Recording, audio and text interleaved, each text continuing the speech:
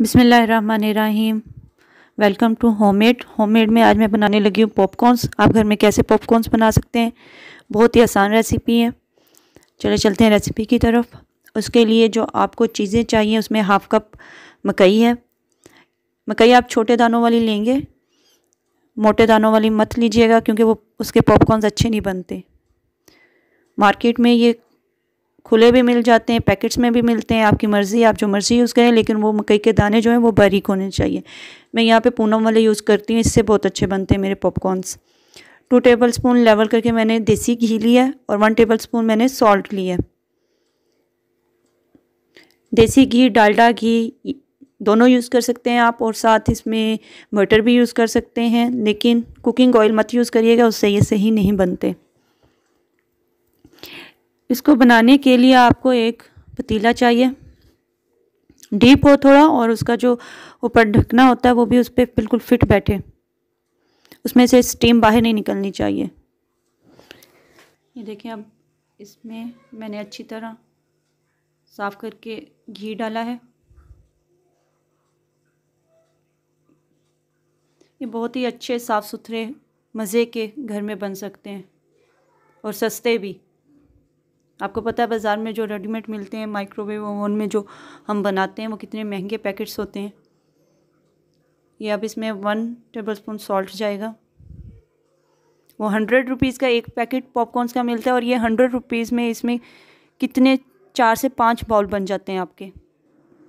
मैंने मैंने salt add कर दिया और इसको मिक्स कर रही हूँ। इसका फ्लेम आपने मीडियम ही रखना है, कम ज़्यादा नहीं करना। अब इसमें ऐड करने के बाद आप इसमें पॉपकॉर्नस जो हैं वो डालेंगी।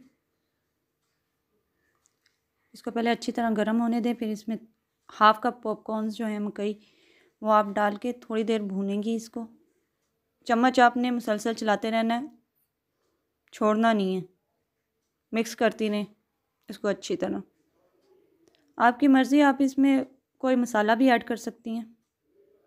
मसाले वाले भी बनते हैं। इसमें चाट मसाला रेड चिली कुछ भी ऐड कर सकती हैं।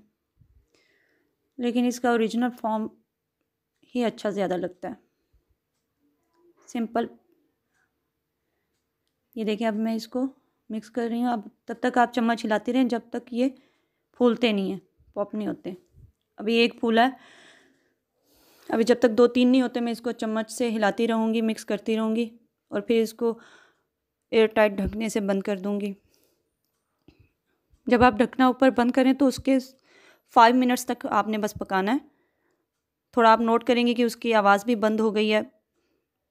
ये देखिए, अब मैंने ढक दिया और ये फ्लेम देखें इसी फ्लेम पे मैंने इसको सारा बनाया और उसी फ्लेम पे मैंने इसको ढक के रख दिया पाँच मिनट के लिए। अगर आपको ये रेसिपी अच्छी लगी हो तो इसको लाइक और सब्सक्राइब कर दीजिएगा। ये देखेंगे, बिल्कुल रेडी है। अब मैंने फ्लेम ऑफ़ कर दिया। अब दो तीन मिनट बाद आपने खोलना है, क्योंकि फ़ौरन आप मत खोलिएगा। वो फूल रहे होते हैं तो वो फिर ऊपर को उठते हैं। अब इसको डिश आउट कर लें। इससे मेरे टू बॉल्स बन गए थे। अगर आपको ये वीडियोस मेरी रेसिपीज़ अच्छी लगती हैं तो इसका फ़ीडबैक ज़रूर दिया करें ताकि पता चले मुझे कि मेरी रेसिपी आप लोगों को पसंद आ रही है कि नहीं आ रही। ट्राई ज़रूर करिएगा, बहुत मज़े के बनेंगे ये। और मेरी नेक्स्ट वीडियो आने तक अल्लाह हाफिज़।